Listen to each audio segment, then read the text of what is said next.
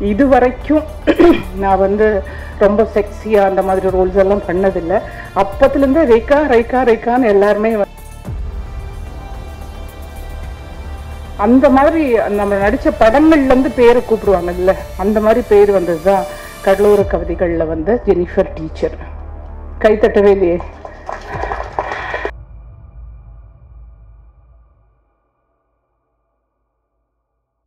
Good evening to all நான் வந்து ரொம்ப சந்தோஷத்துலையும் ரொம்ப பெருமையோடையுமே இங்கே நிற்கிறேன் ஏன்னு சொல்லி பார்த்தீங்கன்னா நான் எழுதிட்டு வந்திருக்கேன்னு நினைக்காதீங்க. மனசார சொல்கிறேன் எனக்கு ரொம்ப ரொம்ப ப்ரௌடாக இருக்குது ரொம்ப வருஷமாக நான் இந்த இண்டஸ்ட்ரியில் இருக்கேன். பாரதராஜா சாரோடைய முதல் படம்லேருந்து இன்னைக்கு பெரிய பெரிய லெஜெண்ட்ஸ் டைரக்டர்ஸ் பெரிய பெரிய கோ ஆக்டர்ஸ் டெக்னீஷியன்ஸ் எல்லாரோடையும் ஒர்க் பண்ணியிருக்கேன். ரொம்ப ஹாப்பியாக இருக்குது டேலண்டட் டைரக்டர்ஸ் நல்ல கேரக்டர்ஸ் எல்லாம் ரொம்ப பெரிய பாக்கியம். அது ஒரு பெரிய கிஃப்ட்னே சொல்லி நினைக்கிறேன். இது வந்து எல்லாம் கடவுளுடைய அனுகிரகமும் உங்களை மாதிரி இருக்கிற ப்ரெஸ் பீப்புளோட அனுகிரகம் தான். இந்த தேர்ட்டி ஃபைவ் இயர்ஸ் உங்களுடைய ப்ரெஸ் பீப்புள் எல்லாருமே எனக்கு ரொம்ப சப்போர்ட் பண்ணியிருக்கீங்க. ஏன்னா நான் வந்து ஒரு நெக்ஸ்ட் டோர் லேடி மாதிரி தான் உள்ள கேரக்டர்ஸ் பண்ணியிருக்கேன். இது வரைக்கும் நான் வந்து ரொம்ப செக்ஸியாக அந்த மாதிரி ரோல்ஸ் எல்லாம் பண்ணதில்லை. அப்பத்துலேருந்தே ரேகா ரேகா ரேகான்னு எல்லாருமே வந்து அவ்வளோ நல்லா சப்போர்ட் பண்ணியிருக்கீங்க. அது ரொம்ப எனக்கு சந்தோஷமாக இருந்துச்சு. அதே மாதிரி என் மேலே பாசம் வச்சிருக்கிற என்னுடைய ஃபேன்ஸ் என்னுடைய ஃபேன்ஸ் வந்து தமிழ் தெலுங்கு கன்னடா மலையாளம் எல்லா லாங்குவேஜும் பண்ணியிருந்தாலும் இவ்வளோ தூரம் நான் இங்கே வந்து நிற்கிறதுக்குள்ள ரீசன் அவங்க தான் கடவுளுடைய ஒரு பிளஸ்ஸிங்கும் இருக்குது என்னுடைய முதல் படத்துலேருந்து இன்னைக்கு வரைக்கும் நிறைய கேரக்டர்ஸ் ஹீரோயின் ரோல்ஸ் பண்ணியிருக்கேன். கேரக்டர்ஸ் பண்ணியிருக்கேன்.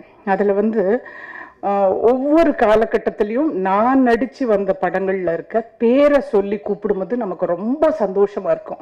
அப்படி வந்து கூப்பிடும்போது அது ஒரு பெரிய வாக்கியம்தான். அது என்ன சொல்கிறது அது ஒரு பிளஸ்ஸிங்னு சொல்லலாம் வாக்கியம்னு சொல்லலாம் ஒரு கிஃப்ட்னு சொல்லலாம். அந்த மாதிரி நம்ம நடித்த படங்கள்லேருந்து பேரை கூப்பிடுவாங்கல்ல அந்த மாதிரி பேர் வந்தது தான் கடலோர கவிதைகளில் வந்த ஜெனிஃபர் டீச்சர். கைத்தட்டவே இல்லையே. ஜெனிஃபர் டீச்சர் இன்னைக்கு வரைக்கும் யாருமே மறக்க முடியாத ஒரு கேரக்டர்.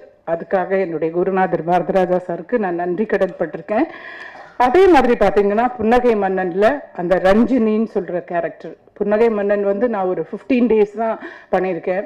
அந்த படத்துலையும் அந்த கேரக்டர் இன்னைக்கு வரைக்கும் மறக்க முடியாத ஒரு படமாக இருந்துச்சு.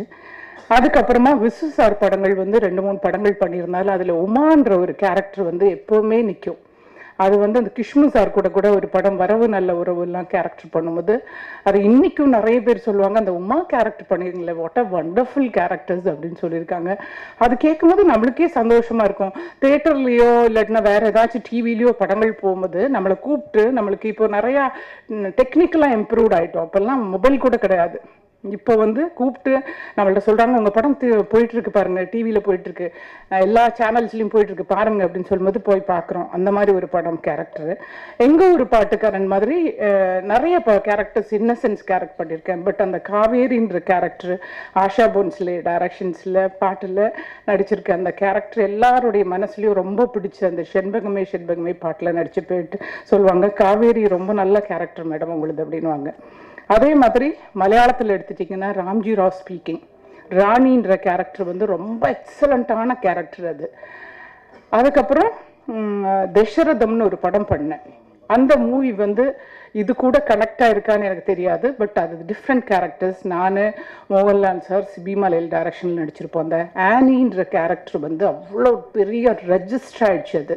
அதுக்கு கிரிட்டிக்ஸ் அவார்டு வாங்கியிருக்கேன் நான் கேரளாவில் அந்த ராணி கேரக்டருக்கு அப்புறமா தசரதமில் ஆனி கேரக்டர் பண்ணேன் ஏ ஆட்டோவில் வந்து மீனுக்குட்டின்றது இன்னைக்கு வரைக்கும் மறக்க முடியாத ஒரு கேரக்டர் மீனுக்குட்டியை மறந்து நான் எங்கேயாச்சும் ஸ்டேஷன்லேயோ இல்லாட்டி ஏர்போர்ட்லேயோ போயிட்டு இருக்கும்போது ரேகான்னு கூப்பிட்டா நான் திரும்பி பார்த்துட மாட்டேன். மீனுக்குட்டின்னா நான் டக்குன்னு திரும்பி பார்த்துருவது என்னையா இருக்குமா அப்படின்னு சொல்லி. அந்த அளவுக்கு ஒரு பியூட்டிஃபுல்லான கேரக்டர் எல்லாமே நேம் சொல்கிறதுனால உங்கள்கிட்ட நான் ஞாபகப்படுத்துகிறேன் மேபி இந்த டூ தௌசண்ட் கிட்ஸ்க்கு தெரியாமல் இருக்கலாம். அதனால இப்போ சொல்கிறேன் டூ கே கிட்ஸ் ஓகே இப்படி எல்லாம் இந்த மாதிரி நேம் வச்சு கூப்பிடும்போது எனக்கு ரொம்ப எஃபெக்டாக இந்த பொட்டன்ஷியல்லாம் நான் போட்டதில்லை. என்னுடைய குருக்கள் என்னுடைய அப்பா அம்மா பிளஸ்ஸிங்ஸ் உங்கள் எல்லாருடைய சப்போர்ட்னால தான் இவ்வளோ தூரம் நான் வந்திருக்கேன். நெக்ஸ்ட் வந்து இதே சினிமாவில் இந்த சினிமாவில் மிரியாம்ன்ற இந்த இந்த கேரக்டரை வந்து எக்ஸ்பெக்டேஷனோட ஒரு பெரிய எஃபர்ட்டோட போட்டு நான் ஆக்ட் பண்ணியிருக்கேன்.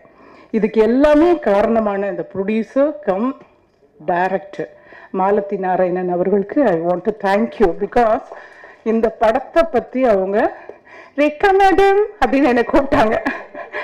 ரேகா மேடம் நான் வந்து மாலதி நாராயணன் பேசுகிறேன் ஆக்சுவலி பார்த்தீங்கன்னா I am from Ireland I'm a doctor I am going to take one movie இது வந்து இந்த கேரக்டர் உங்களுக்கு ரொம்ப ஜஸ்டிஃபை பண்ணணும்னு நினைக்கிறேன்னு uh, நான் நினச்சேன். குழந்தைங்க போது பேசுகிறாங்களே அப்படின்னு நினச்சிட்டு ஆ சொல்லுங்க சொல்லுங்க அப்படின்னு. ஒரு ஒரு சின்ன நாட் சொல்லட்டுமா அப்படின்னு சப்ஜெக்ட் சொல்ல ஆரம்பிச்சாங்க. மனசுக்குள்ள அப்படியே பட்டாம்பூச்சி பட படான்னு பறந்துச்சு. ஏ விடாத விடாத பிடிச்சிரு பிடிச்சிரு பிடிச்சிடு படத்தை பற்றியெல்லாம் நான் கேட்கவே இல்லைங்க. அந்த கேரக்டர் மிரியம்மான்னு சொல்கிற அந்த கேரக்டரை வந்து ஒரு ஃபிஃப்டீன் மினிட்ஸில் சொன்னாங்க. எனக்கு தெரிஞ்சு போச்சு. சம்திங் இஸ் தேர் என்னமோ நமக்கு ஒரு தீனி போடுற ஒரு கேரக்டராக இருக்குது அதை பிடிச்சிருவோம் அப்படின்னு சொல்லி பண்ணேன். I want to thank you thank you thank you